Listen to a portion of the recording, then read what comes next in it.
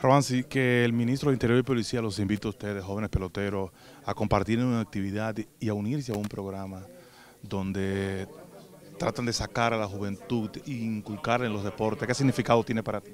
Bueno, primeramente me siento agradecido eh, con el ministro ¿sabe? por la oportunidad de tener aquí a todos los muchachos y la verdad creo que sabe algo muy bueno, algo muy bueno que va a ayudar a la juventud a tener una visión de lo que quiere y creo que eh, reunirnos todos nosotros aquí, tú sabes, somos deportistas y creo que, como dijimos ahorita, no, es mejor, no hay un mejor consejo que un pelotero a otro pelotero y siento que esto que estamos haciendo va, a ser algo que va a ayudar, a la juventud en algún futuro.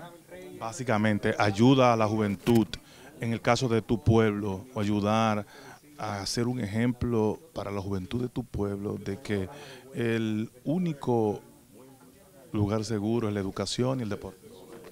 Eh, claro, realmente tú sabes, creo que eh, el deporte sabe, eh, te ayuda en muchas cosas. Prácticamente uno siempre corre el deporte por un futuro, ¿sabes? Por un, uno siempre piensa en un futuro, pero siento que el deporte nos ayuda mucho en la educación, ¿sabes? Creo que seguir un deporte es algo que en verdad todos deberíamos de seguir porque realmente es algo bueno.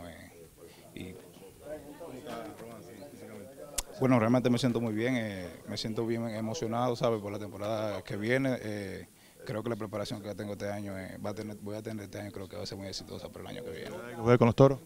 Bueno, realmente estamos en veremos ahora mismo, ¿sabes? Estamos en conversaciones con el equipo, pero todavía no es nada seguro.